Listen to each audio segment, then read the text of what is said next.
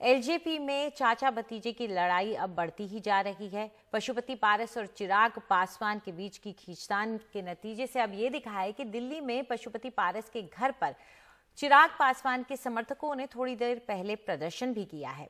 विरोध में उन्होंने पशुपति पारस के खिलाफ नारे भी लगाए। पशुपति पारस ने दो दिन पहले बगावत करते हुए चिराग को छोड़ बाकी एलजीपी सांसदों को अपने साथ कर लिया।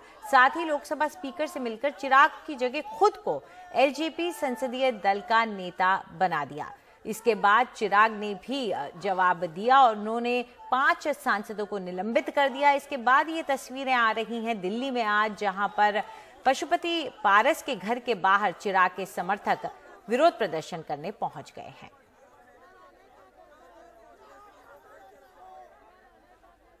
हम इस वक्त खड़े हैं पशुपति कुमार पारस के घर के बाहर और यहाँ पर जो है चिराग पासवान के समर्थक प्रदर्शन कर रहे हैं। इनका ये कहना है कि जो पार्टी में जो बगावत इन लोगों ने की है, वो गलत की और यही वजह से सड़क पर यहाँ पर दिल्ली में प्रदर्शन कर रहे हैं और देखेंगे अच्छी खासी तादाद में लोग यहाँ पर आ गए पोस्टर इनके साथ और इनका ये कहना है कि जो पशुपति पारस और बाकी लोगों ने जो किया है वो गलत किया कुछ लोगों से इनसे बातचीत करते हैं, उनका आखिर क्या कर? रहे हैं आप लोग जो यहाँ पर आए, क्या मांगे आप लोग की? आप लोग की क्या मांग है? हम लोग ये कहना चाहते हैं, जो एक रामविलास पासवान जी एक स्वच्छ छवि के आदमी थे और उनका बेटा चिराग पासवान जो है ना, उसने स्वच्छ राजनीति किया है।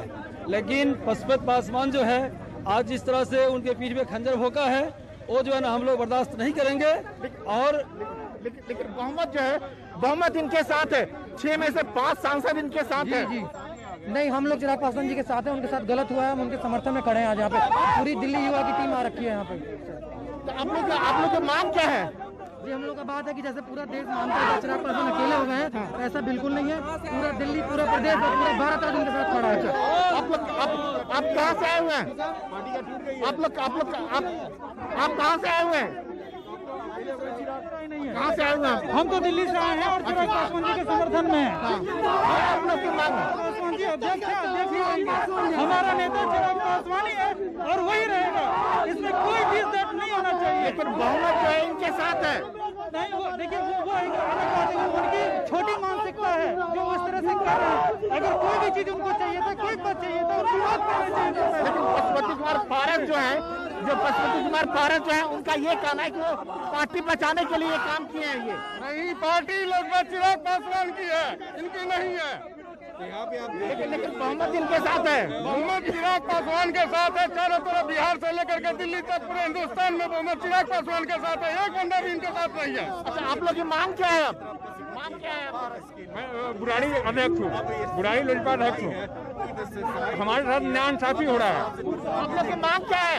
आप लोग क्या मांग कर रहे हैं? हमारा मांग यही है इन्होंने जो अभी कदम उठाए हैं इनके चाचा ने पशुपतिनाथ पारस जी ने बहुत ही गलत कदम उठाए हैं। अगर इनको कुछ चीज़ अगर मतभेद था तो आपस में बैठ के बात करते लेकिन ये ये जो कदम उठाए हैं पाँचों सांसद को जो ये अलग किए हैं, ये कतई हम लोग बर्दाश्त नहीं कर सकते। उसी के उसमें हम लोग आए हुए हैं और विरोध प्रदर्शन कर रहे हैं। ये थे चिराग के समर्थक, जिनका ये कहना है कि पशुपति कुमार पारस गुट ने जो कुछ भी किया है, वो गलत किया है और जो भी मतभेद थे, उसे बैठ के सुलझाना चाहिए। नई दिल्ली में कैमरामैन शशिकांत के साथ राजीव रंजन, एनडीटीवी इंडिया।